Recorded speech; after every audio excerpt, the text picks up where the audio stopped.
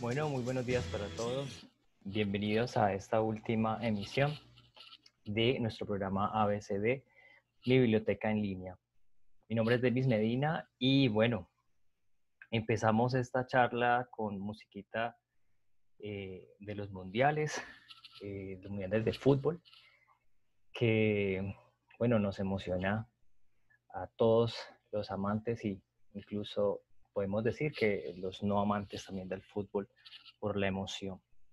Y bueno, em, cuando uno habla de estrategia, uno realmente eh, puede uno remitirse a los, digamos que los, primeros juegos que uno pudo haber em, tenido desde la infancia y bueno, el fútbol es uno de estos. Entonces, cuando uno iba a trabajar en, en un equipo, en su primer equipo de fútbol, que era el equipo de la cuadra, entonces si tú eras un poquitico más gordito, ibas para la portería, ¿cierto? A los más rápidos los colocaban pues de volantes, a, pues a los mejores jugadores pues iban de delanteros. Entonces vos eh, elaborabas tu estrategia de acuerdo a, ¿cierto? A tus fichas, de acuerdo a mm, todo lo que vos tenías en juego. Definías entonces, escogías la cancha, eh, identificabas cómo eran las reglas del juego, todo. Entonces, para las búsquedas es algo muy parecido. Nosotros em, vamos también a abordar las búsquedas no desde la perspectiva del motor de búsqueda como de pronto uno piensa al principio que va a funcionar. Uno debe em, elaborar, así sea em, una estrategia muy sencilla, una, unos pasos a seguir para pues, llevar a cabo nuestra tarea. Entonces, para hoy, por eso venía eh, con esta música de los mundiales de fútbol para hablar de estrategias de juego. ¿sí? Esta es nuestra cancha. Y esto, digamos que lo interesante es que se aplica para cualquier cosa. Si tú vas a estudiar para un examen, si tú te vas a preparar para una entrevista, si tú vas a hacer una exposición, eh, vas a escribir un artículo, lo que, lo que sea, ¿listo? Debes elaborar una estrategia de juego. Entonces, bueno, lo primero que uno hace es, bueno, ¿quién es nuestro rival, no? Entonces, ¿cómo ustedes hacen la lectura del rival, del contrincante? Es importantísimo. Entonces, eh, digamos que una primera manera es, tú puedes recolectar las jugadas, ¿no? Em, mirar cómo, cómo, cómo juegan sus defensas, cómo juegan sus delanteros, cómo es el portero, empiezas a, si eres un poco más juicioso, llevas una bitácora de campo, en donde tú empiezas a escribir, ¿sí? En esta bitácora, em, cómo se comportaron ellos en cuáles partidos, de acuerdo a qué condiciones, qué les favorece. Y eh, a partir de aquí, de toda la estructura que tú tienes, pues entonces asignas unos roles para contrarrestar al rival. Pues tu objetivo es ese, ¿cierto? Jugar contra el rival y ganarle al rival, ¿vale?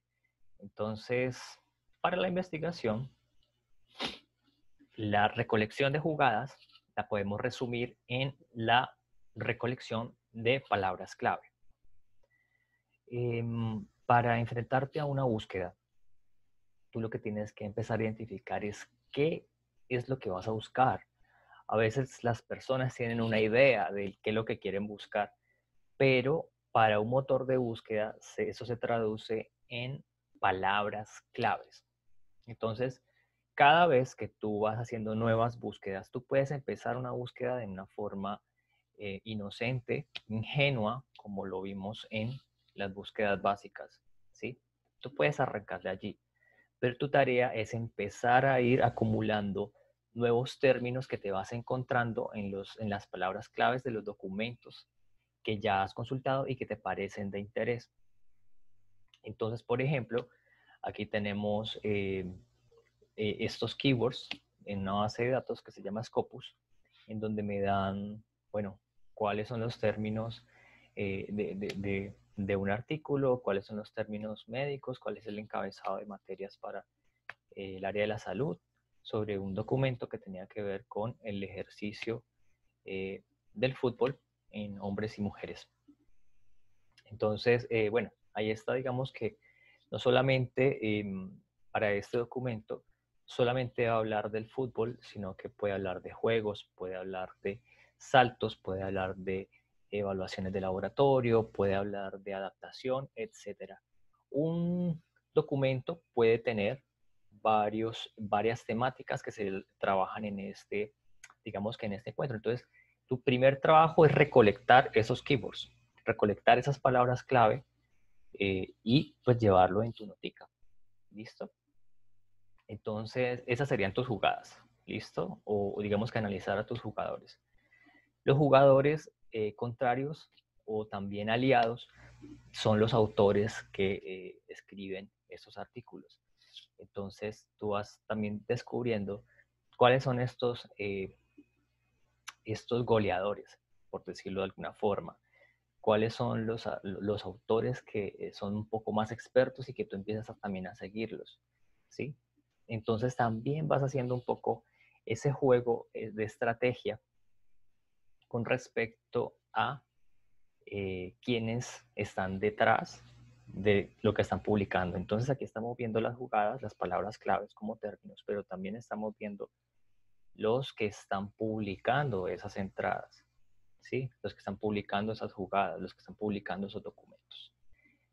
y para ello, digamos que es muy, em, es sencillo y muy práctico la elaboración de una bitácora de búsqueda.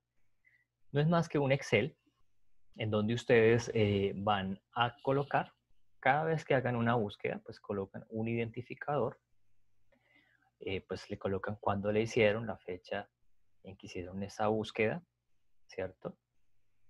ustedes van a colocar un objetivo de dicha búsqueda, en este caso, por ejemplo, explorar documentos, ahí se me fue una N, relacionados con estrategias deportivas, ¿cierto? Ustedes pueden tener un conjunto de objetivos y esa es, digamos, que la tercera parte que está aquí, en la asignación de los objetivos, ¿ya? Entonces, ustedes en sus búsquedas van detrás de ese objetivo. Esto tiene que ver un poco con la organización de las tareas porque eh, ustedes ya saben que lo que uno hace es coger una tarea muy grande y empezar a dividirlas en tareas pequeñas. Entonces, para ello, la bitácora, como el diario de campo, funciona eh, siguiendo o persiguiendo mejor los objetivos que ustedes se han propuesto. ¿sí? Entonces, yo, por ejemplo, eh, hago, tengo mi objetivo y digo que mi motor de búsqueda, porque debo identificar, bueno, en dónde lo busqué, use Google, listo.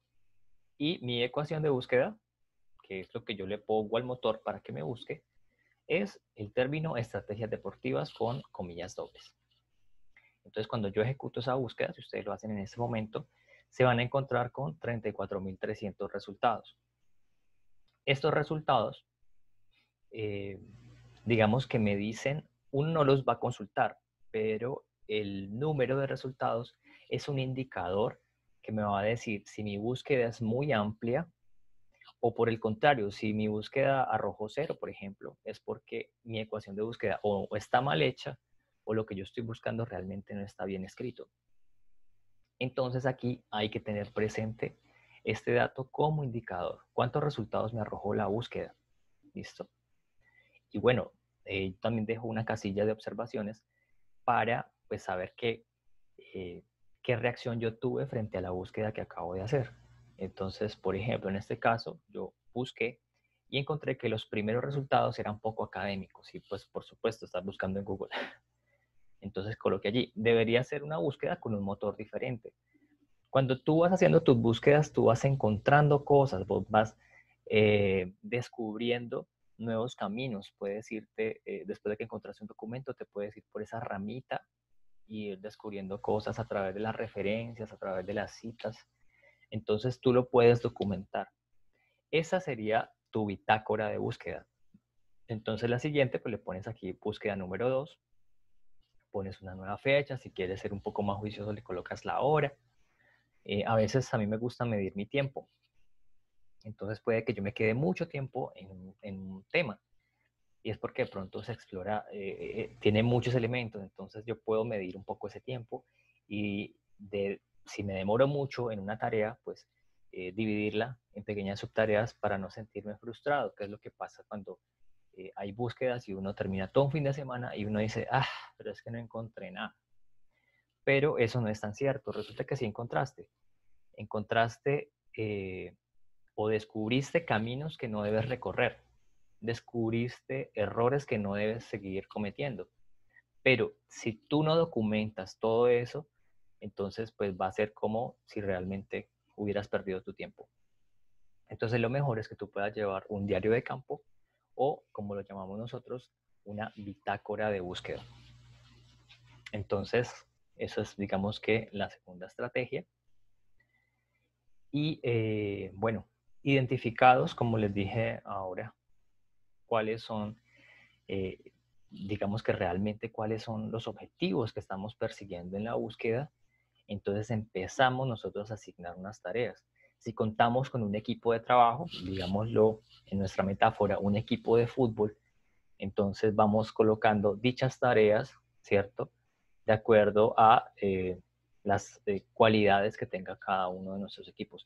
Si somos, estamos trabajando solos, entonces definimos también las tareas, podemos utilizar eh, nuestros tiempos de rendimiento. Esto es como en el fútbol, ¿sí?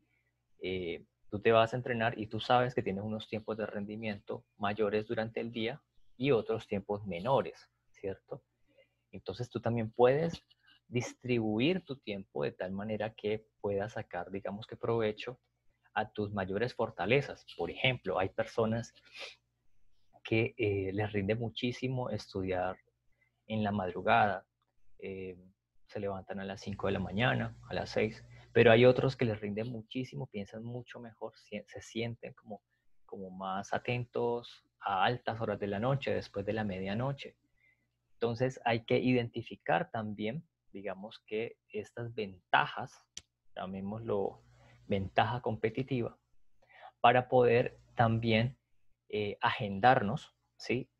Y a pesar de que tenemos otras tareas, porque de pronto estamos viendo otras materias, otros cursos, en el trabajo tenemos otras asignaciones, pues eh, saber que de acuerdo a algunos tiempos, pues nosotros definimos eh, unos días, unos horarios específicos para hacer unas tareas específicas.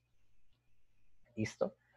Entonces estamos planeando, estamos haciendo una valoración de lo que estamos, a lo que nos estamos enfrentando y a partir de allí asignamos tareas, ya sea para el equipo o ya sea para eh, mi propia distribución del tiempo. ¿Listo? Lo siguiente es, bueno, ¿cómo es mi cancha de juego? Entonces, eh, los futbolistas, em, bueno, tienen que mirar la humedad, el clima, la altura y otras variables que de pronto a mí se me escapan porque no soy futbolista. Y eso tiene que ver con los recursos que dispongo. Entonces ustedes como investigadores, como estudiantes o pues como personas que tienen que presentar algún eh, material de investigación o simplemente una presentación, deben preguntarse sobre los recursos que ustedes disponen, ¿sí? Eh, ¿Cuáles son esos recursos? Entonces, por ejemplo, para el caso de eh, nuestros estudiantes de la Universidad del Valle, podemos contar con las notas de clase. Muchachos, no, eh, digamos que una de las, de las técnicas es que ustedes no deben dejar pasar una clase sin tomar sus propias notas, ¿sí? Entonces, eh, así sean virtuales, ustedes cojan un cuaderno y empiecen a tomar notas. No se confíen porque, pues, ah, quedó la grabación y entonces yo reviso la grabación. Normalmente uno nunca revisa la grabación a menos que definitivamente eh, pues haya un taller y no recuerde uno bien lo que dijo el profesor y uno se devuelve la grabación. Pero no es habitual que uno esté viendo muchas grabaciones porque uno tiene muchas otras cosas que hacer. Entonces, para que ustedes ganen más tiempo, lo que ustedes deben hacer es, sintetizar lo que se dijo en la clase, ¿ya? Entonces eso lo hacen a través de sus notas para que eh, minimicen el regreso a ver el video, las grabaciones y ganen más tiempo. ¿Listo? Porque el problema finalmente es el tiempo. El tiempo que eh, no pudimos hacerlo rendir y luego el que nos condena.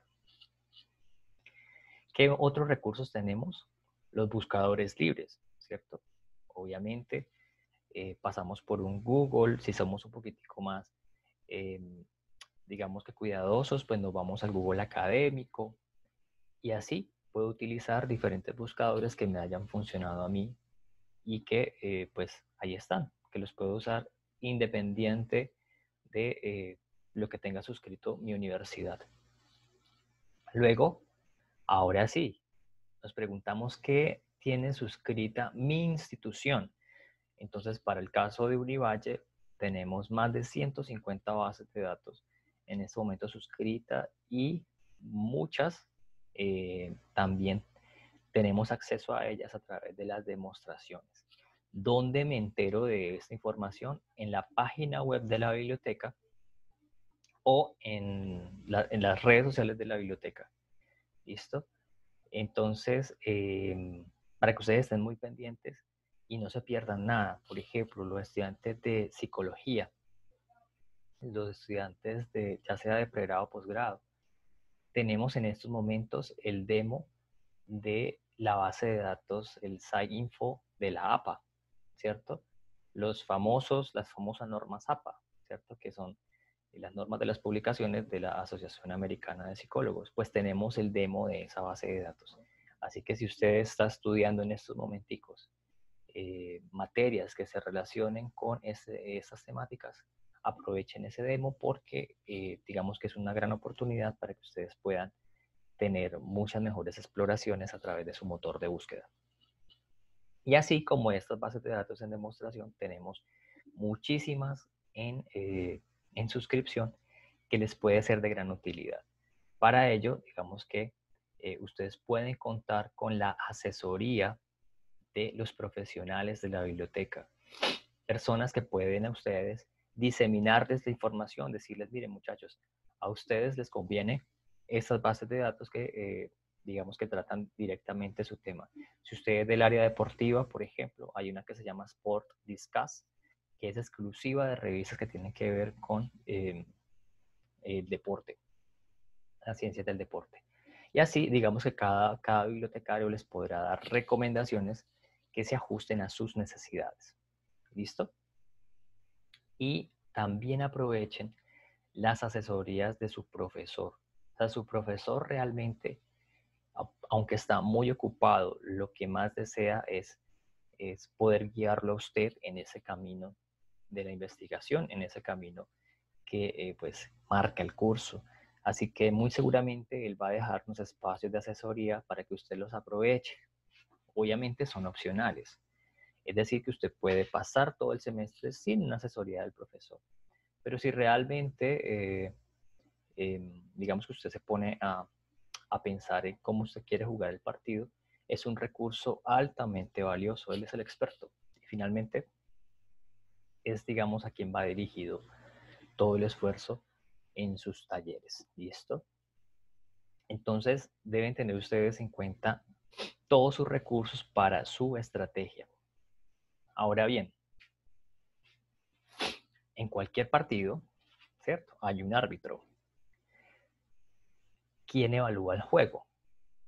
¿Bajo qué reglamento? ¿Cuáles son los puntajes mínimos?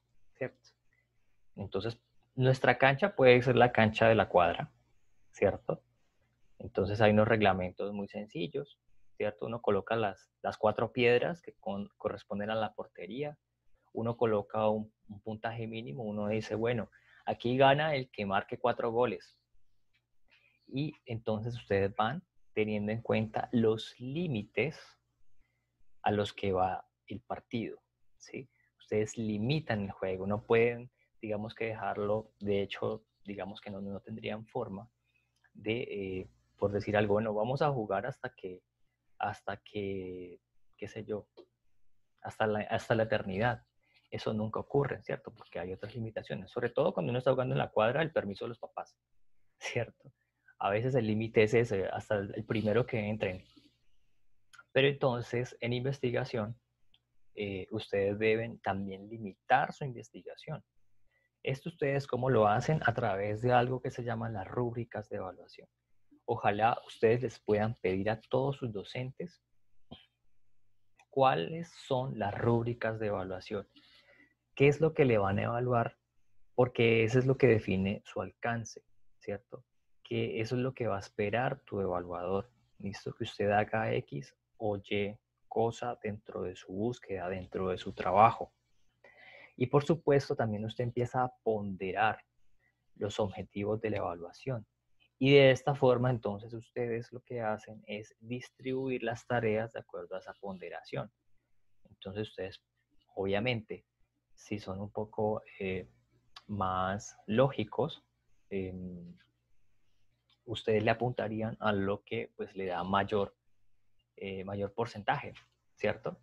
Entonces, vuelve y les permite a ustedes estructurar su estrategia, porque al final de cuentas es el árbitro quien define si se gana o se pierde el partido. ¿Listo? Es él quien maneja las reglas del juego. De cierta manera, ¿sí? a pesar de que ustedes le van a jugar a la tribuna, los, los jugadores le juegan a la tribuna, en teoría, quien define eh, quién gana o quién pierde es el árbitro. Luego, de cierta manera, ustedes le están jugando es al árbitro. Entonces hay que tenerlo en cuenta cuando estamos hablando de eh, búsquedas. Ustedes le están jugando a la visión que tiene el docente. Ustedes están jugándole a eh, qué es lo que él quiere, porque él es el que les va a dar al final la nota. Entonces, de acuerdo a eso, ustedes ahora sí definen sus pasos a seguir, porque Él será eh, a quien va dirigido todo, digámoslo así, todo el esfuerzo.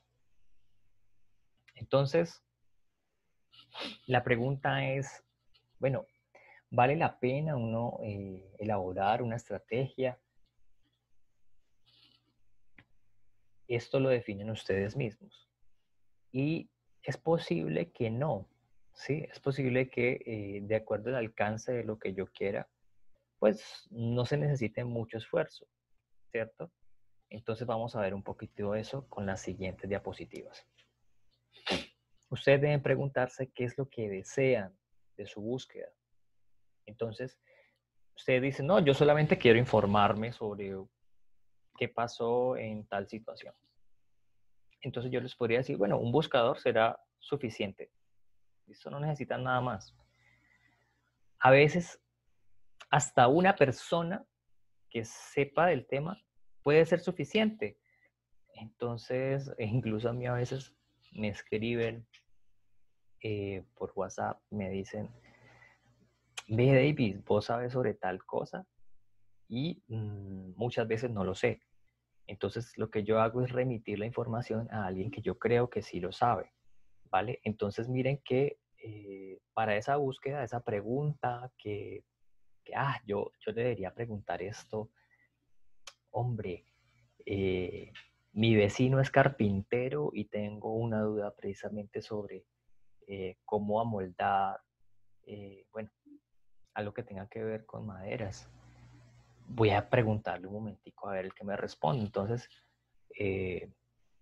podría hacerle una pregunta con el lenguaje natural y muy seguramente me daría una respuesta mucho más completa porque es su punto, eh, es, de donde es experto. Entonces, observen que ya incluso el buscador lo deja aparte, porque como solo quiero informarme, una persona me es suficiente para ello. Entonces, eh, lo más importante es que ustedes sepan cuál es el alcance de lo que ustedes están buscando, ¿ya? Entonces, para que no se maten la cabeza, eh, por decir algo, hay muchas personas que buscan información en bases de datos que realmente no está en ellas, ¿sí? Entonces, yo quiero que eh, en las bases de datos encontrar las estadísticas de eh, todas las personas en Colombia eh, empleadas. Y resulta que, pues, como todos sabemos, esta información está disponible, pues, con el DANE, ¿cierto? Y muy seguramente podamos, podamos encontrarla en línea. Entonces, ya lo que hacemos es identificamos la búsqueda, identificamos quiénes son las personas que pueden tener esa información y lo que hacemos es ya redirigir esa búsqueda en los sitios oficiales o a través de un contacto que se la podamos hacer por correo electrónico. Entonces, si ven, cuando digamos que sé qué es lo que deseo la búsqueda, puedo elaborar una estrategia que si yo me estaba si me pensaba sentar dos horas a buscar en una base de datos, ¿sí?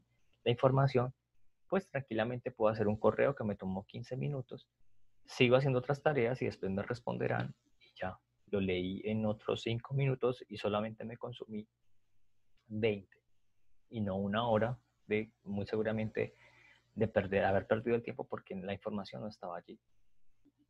Entonces, tiene que ver un poco ese alcance para que ustedes puedan descubrir mucha más información en menor tiempo. Ahora, si lo que yo busco es para una tarea, entonces la pregunta que ustedes deben hacerse es, ¿quién la va a revisar? ¿Sí? ¿El profesor es súper cuchilla o no? ¿O es más bien relajada? ¿Cuáles son las rúbricas de evaluación? ¿No tiene? Ah, bueno, entonces voy a construirlas. ¿Cómo las construyo? Preguntándole al profesor qué es lo que él espera. ¿Y qué es lo que estamos haciendo en este momento?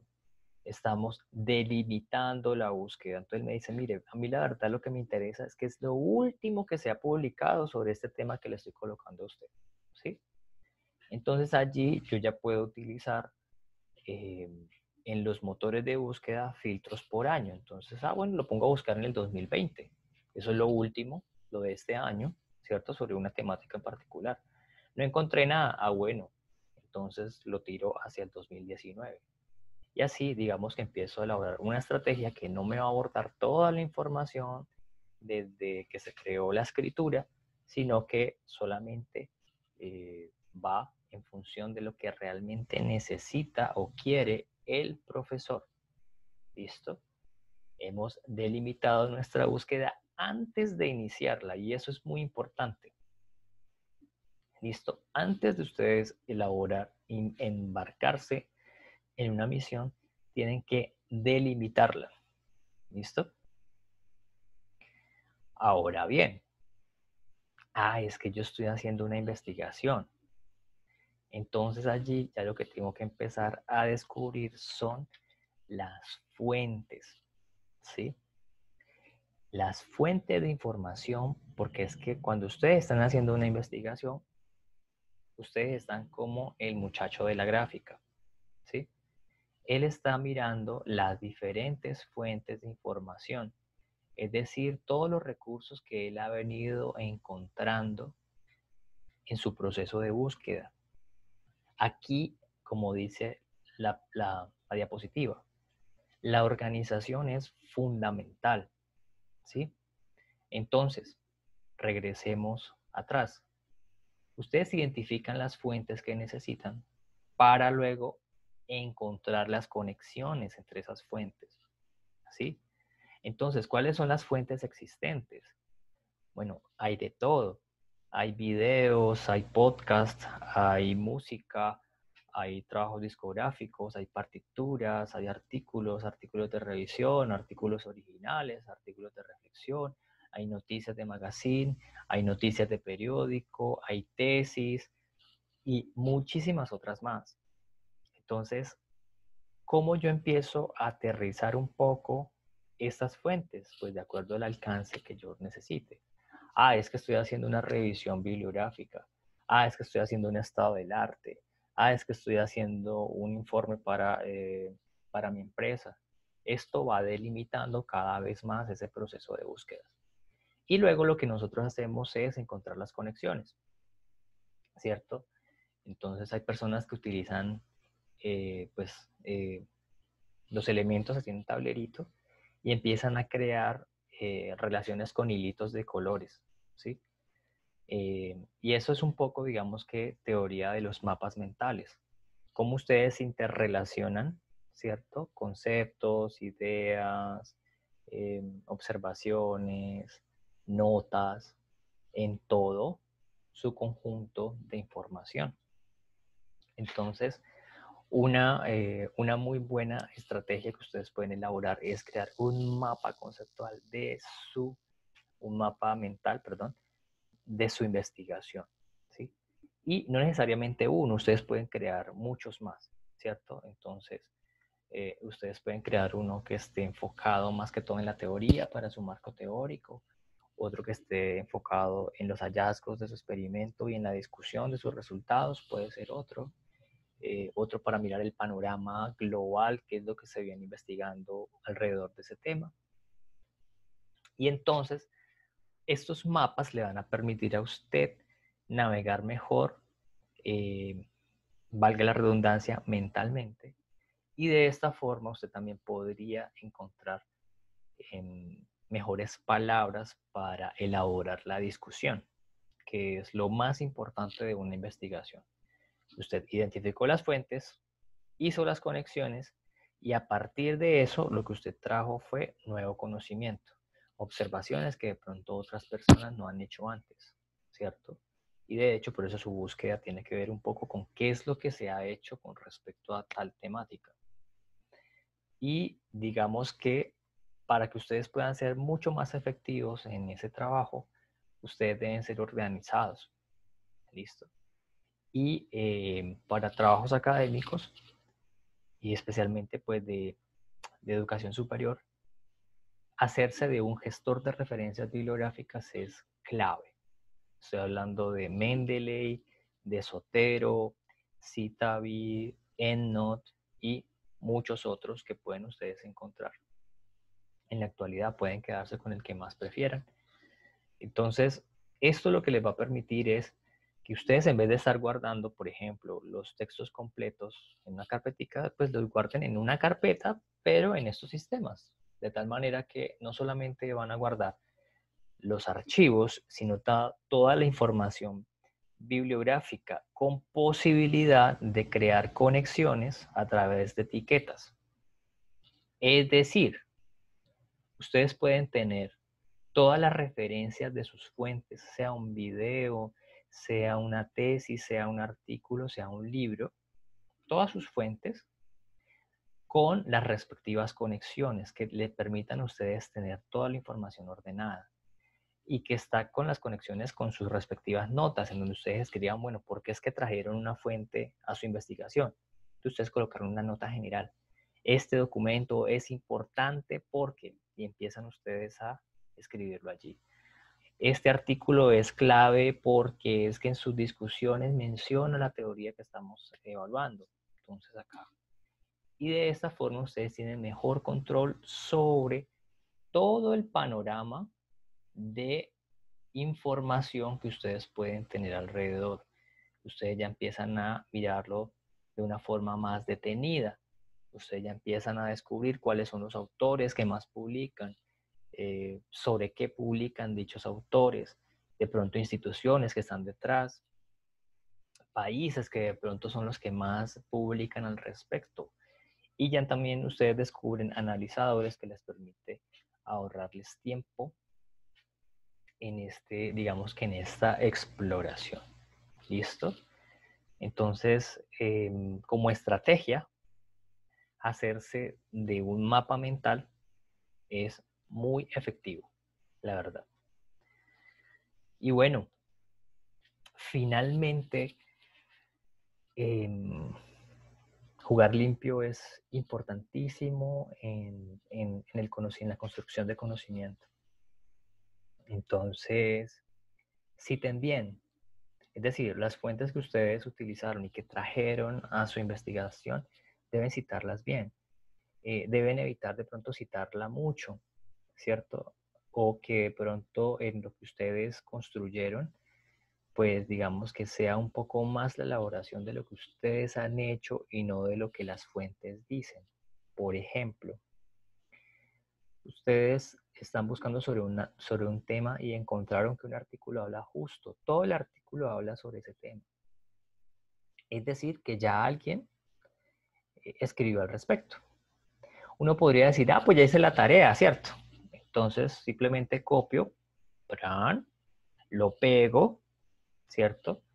A mi trabajo y cito. Pero resulta que es que copiaste todo. Y a pesar de que tú citaste, pues no hiciste eh, gran cosa, solamente lo, lo, cogiste a él. Entonces, ¿cuál es tu aporte? A esto me refiero con juego limpio. Identificar cuáles son también los alcances de mi investigación. Yo aquí estoy hablando es, por ejemplo, para eh, un trabajo de grado, ¿sí? Entonces, por decir algo, te encontraste un trabajo de grado muy bueno y lo trajiste y finalmente copiaste todo. Luego, Mm, a pesar de que tú puedas citar, ¿dónde está tu aporte? Entonces, eh, hay muchos tipos de plagio. Ahorita les voy a mostrar en la página de la biblioteca donde, donde ustedes pueden, digamos que ahondar un poco más en varias de las cosas que he mencionado, pero sobre todo en el tema de las citaciones, en el tema del parafraseo, en el tema de cómo citar correctamente para, digamos que, em, realmente construir conocimiento y no estar tal vez eh, infringiendo, ¿cierto? a través de, simplemente por desconocimiento, infringiendo em, los derechos reservados que tienen los autores cuando publican sus hallazgos. Entonces, eh, bueno, miremos a ver qué más tengo aquí con respecto a esto. Em, bueno, dentro de, digamos que las, mm, tal vez de lo que uno puede em, captar del fútbol, ¿cierto? Es que cuando el equipo empieza a jugar sucio, es desagradable para el espectador, ¿cierto? Ya se vuelve, se pierde la magia, por decirlo de alguna forma. A uno le gustan las jugadas, que el triángulo, que el, bueno, que la chilena, en fin. Estoy hablando ahorita en cuestiones académicas del lector. Entonces, cuando ustedes empiezan a jugar limpio, es decir, a estructurar mejor sus párrafos, a hacer una mejor discusión, a traer varios autores y ponerlos entre ellos a, a debatir y luego ustedes como si fueran un moderador, uno, ustedes sacan, hacen una síntesis de lo que dijeron esos autores. Para el lector, ¿cierto? Esto empieza a eh, sentirse muy agradable, ¿sí? Porque dice, uy, esta persona realmente, eh, digamos que se esmeró en la elaboración de estos textos. Por otro lado, para las personas que les gusta copiar y pegar de forma abrupta, para el lector que identifica rápidamente eh, cuáles son los estilos de escritura, pues hagan de cuenta que ustedes están viendo, a ver, un, ustedes están viendo, ustedes arrancaron eh, con el video de un youtuber, ¿no? Entonces él llegó así como eh, de forma muy informal y empezó a, a, presentar lo que iba a mostrar. Y de repente, ¡plum!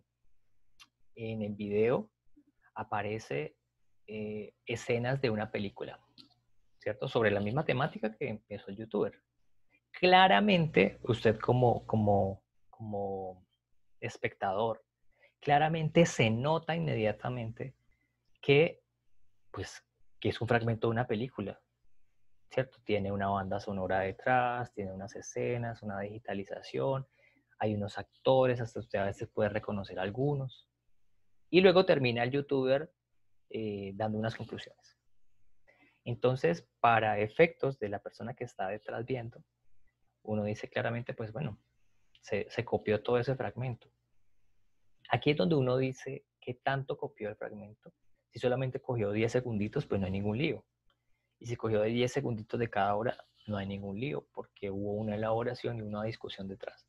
Pero si se cogió, su video dura 5 minutos y 4 se los cogió de, de la película, entonces allí es donde el espectador empieza a ver un poco mal esa intervención. Entonces, ¿por qué? Porque lo que el espectador está esperando es que usted sea innovador, de que usted realmente presente algo diferente. Porque para cuatro minutos de, esa, de ese fragmento de la película, pues usted ya los podía haber visto. Simplemente usted le colocaba una nota de que revise la película y ya está.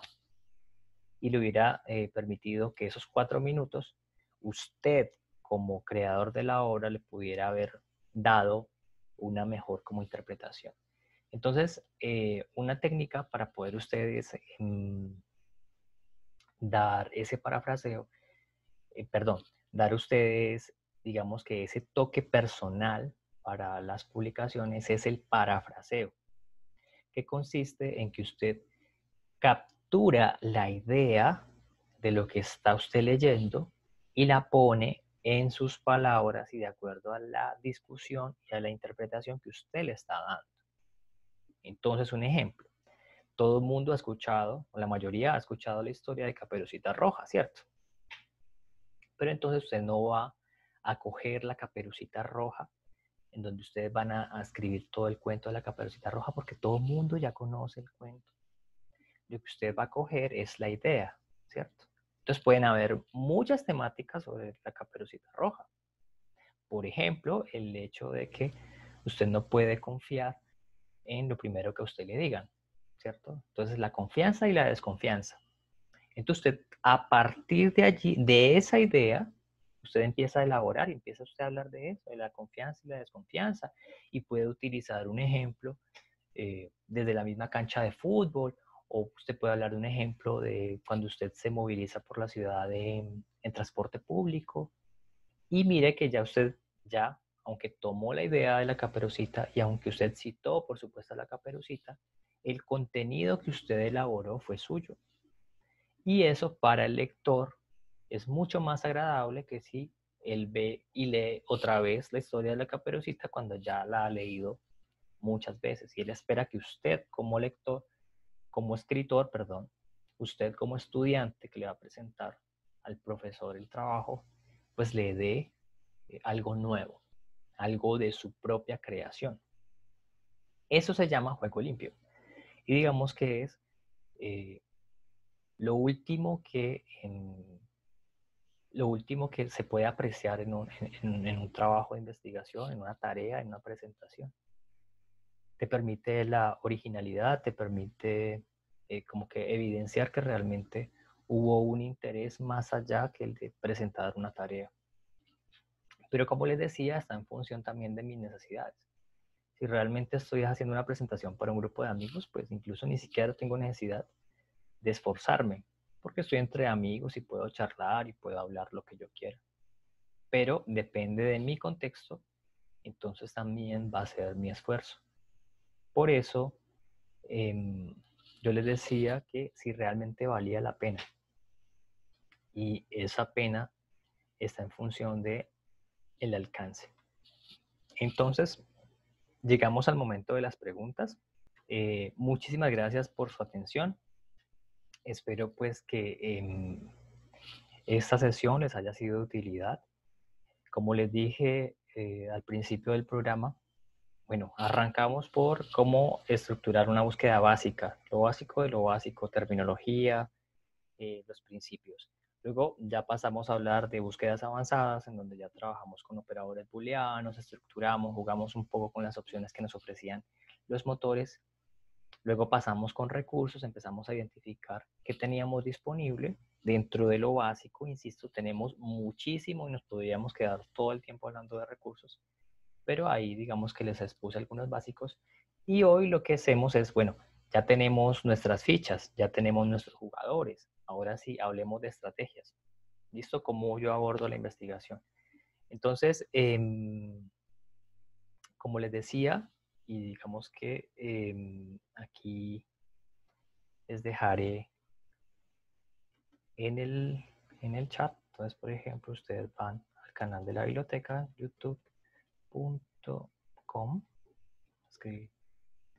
Ustedes buscan Biblio Univalle. Ahí se los estoy escribiendo en, el chat. Exacto, ahí quedó. En el canal de videos de nuestra biblioteca, ustedes van a poder em, buscar mucha información sobre lo que nosotros hacemos, eh, desde eh, búsquedas básicas, gestores de referencias, ahí ustedes pueden ver videos de entrenamiento para Mendeley, hasta buenas prácticas para la publicación de artículos. Eh, el tema de plagio, tenemos unos dos videos muy completos donde hablamos al respecto y cómo digamos que empezar a evitarlo. Entonces, espero pues que ustedes después les sea de utilidad. Y allí también en los videos eh, saben que pueden contar con nuestra asesoría. ¿sí? Entonces, em, de nuevo, muchísimas gracias por su atención y espero verlos en una nueva oportunidad.